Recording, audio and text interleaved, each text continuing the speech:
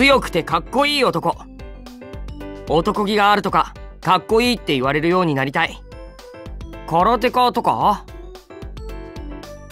親父がスタイリストだからファッション関係の仕事にも惹かれるな。ちっちゃい頃から見てたからやりがいのある仕事なんだってわかるし俺もコーディネートとかファッションとか興味あるしな。